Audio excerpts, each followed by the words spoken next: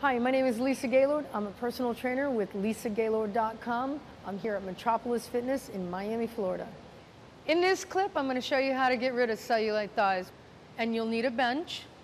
What I want you to think about is if you're in your home, as I'm in my gym, I'm going to use a regular step, step bench top, okay? But you can use the back of a chair, something that's stationary. I'm going to use a martial arts move. It's called a side kick. I want you to turn your foot in, hold your, your back of your chair, and push out, push out. Now this doesn't have to be high, but I want it to be a consistent movement. So it's a swinging up and out. Make sure that your toes aren't turned upwards, but they're turned downwards. So it's gonna work on the side of the hips, okay? All right, I'm gonna put the bench down. Second movement is gonna be a regular squat. I want you to think about squatting through your heels and hands in front for balance. Drop down and squeeze up.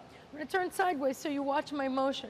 I don't want you to pitch forward too much, but arms are out. Sit like you're gonna sit in a chair and squeeze your butt up, okay? Drop again and squeeze up. When we do these, we're gonna do repetitions of anywhere from 12 to 15 at a time. You're gonna shake it off, maybe get a little stretch.